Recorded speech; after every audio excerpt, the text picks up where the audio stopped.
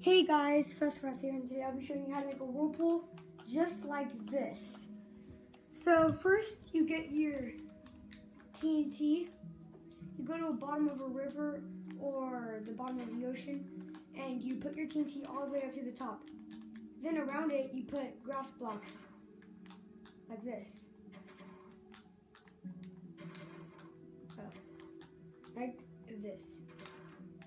And then you get fire charges or flint and steel, whatever, and you light it.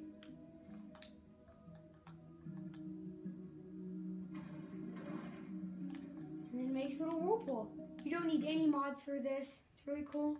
And yeah, I suggest you do it. So yeah, that's it for today, guys, and I'll see you in the next video. Bye!